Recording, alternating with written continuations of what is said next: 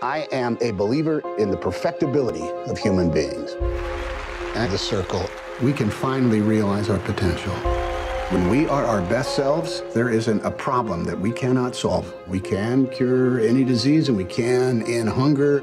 Imagine the human rights implications. The possibilities are endless. Your payment, it was for 7813 and the bill was for 7831. Thank you. You got the job at the circle. Have a drink, have a good time, and stay excited. You're at the circle. Hello, Mae. How are you? Jared here will be doing your training. When I first started, it took me a few weeks to really get the hang of it. Believe me, you're doing fine. You should come visit me at work sometime. You might think I was there to clean the toilets.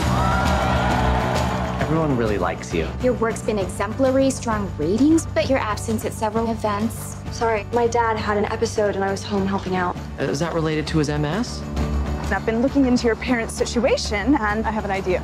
I was thinking it would make sense for Mae's folks to come on the Circle Health Plan. I want to say how much I value what you've done for my family. Mae, you're a valued part of the circle. We care about everybody you care about. Mae's only been with us for a few months, but she has made quite an impression. So, Mae, do you think you behave better or worse when you are being watched? We have cameras in place all over the world right now. Watching you.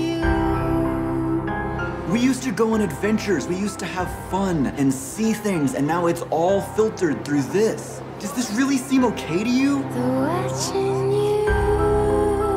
I didn't create this. This is not what I had in mind. Watching you. Things at the circle, they need to change. Everything recorded, seen, broadcast is stored and analyzed here. They can use it however they see fit, no matter what its cost. Knowing is good, but knowing everything is better.